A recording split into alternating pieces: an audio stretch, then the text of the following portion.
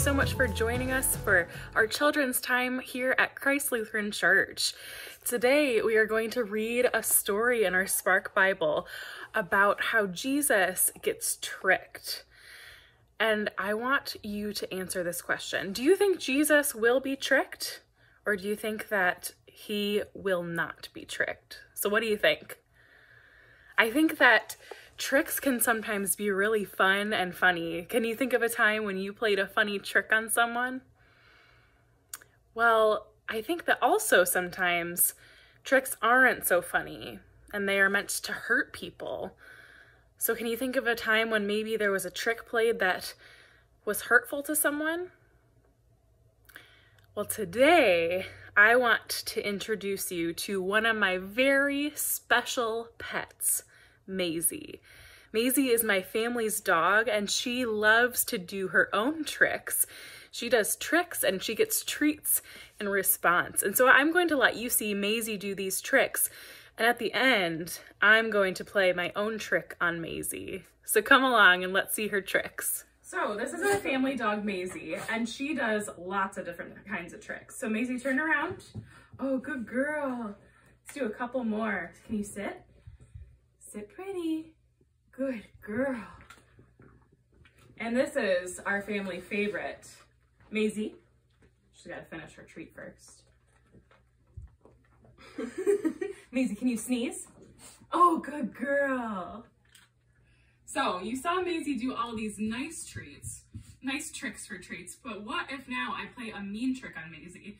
Here I have the rest of her treat, and I'm gonna pretend to throw it, but really, I'm gonna keep it in my hand and Maisie's gonna go look for it.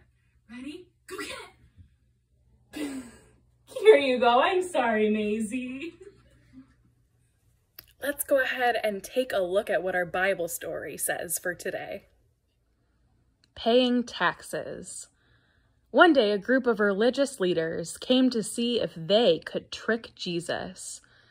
We know that you believe God is the ruler of all, they said, rubbing their hands together, sure they would trick Jesus. So tell us, is it right to pay taxes to the emperor or not? Jesus answered their question with a question of his own.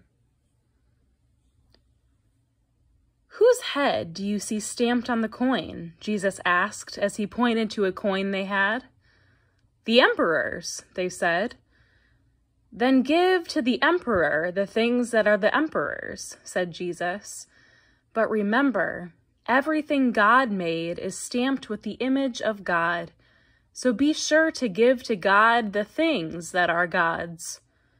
The leaders left amazed and a little disappointed. They hadn't tricked Jesus after all.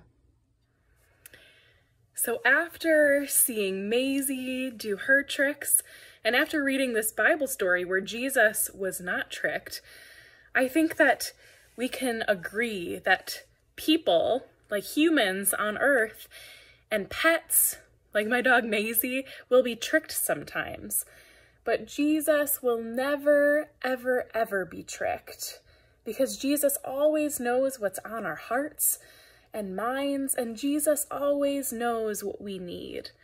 And so I want you to remember that whenever you feel like you're being tricked, and maybe not such a good way, you can always turn to Jesus because Jesus will always show you love. So thanks for joining us for our children's time, and we will see you again next week. Bye, everyone.